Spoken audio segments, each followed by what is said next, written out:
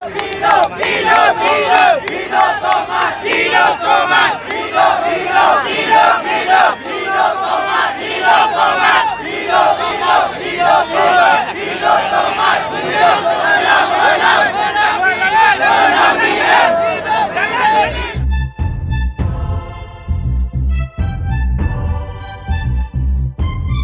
ucap tahniah kepada Tok Mat dan kita doakan kejayaan bagi tim Tok Mat pada pilihan raya di Rantau. Semana yang kita tahu hari ini kita lihat ada empat penjuru dan dimaklumkan salah satu calon yang bertanding itu tidak mempunyai wakil calon dan juga pencadang.